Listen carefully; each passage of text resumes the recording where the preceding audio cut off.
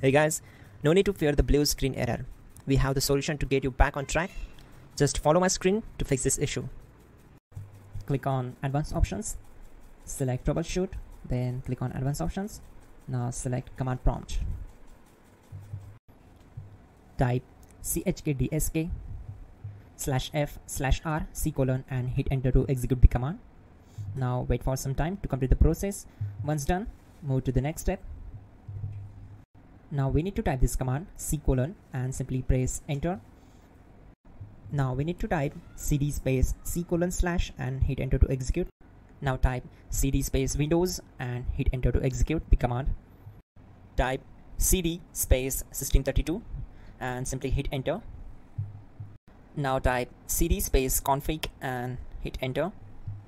Now execute this command carefully. Type in md space backup and simply hit enter to execute it.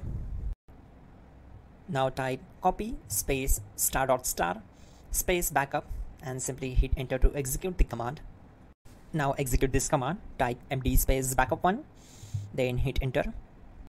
Now execute this command carefully, type in copy space star dot star space backup one, then simply hit enter to execute the command.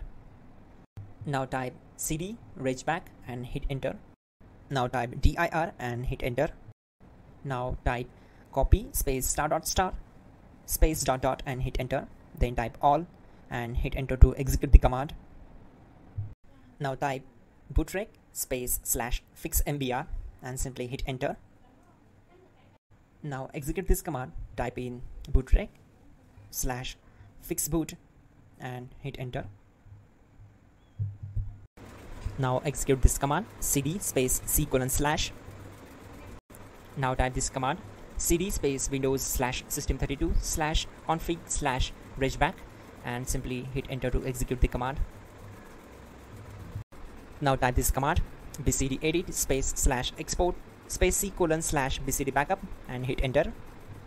Now type cd space c colon slash and hit enter. Now type this md space boot and hit enter. Now execute this command.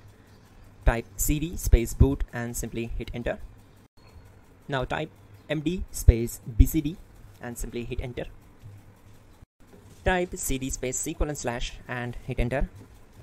Now type attrib c colon slash boot slash bcd dash h dash r dash s and hit enter.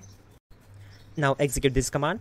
Type ren space c colon slash boot slash bcd space bcd dot old. Then simply hit enter to execute this command. And once done, let's move to the next command.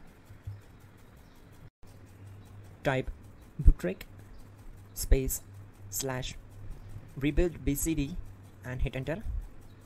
Type exit and hit enter. Now click on continue. It will restart your system. So that's it guys. Your problem is solved and you're good to go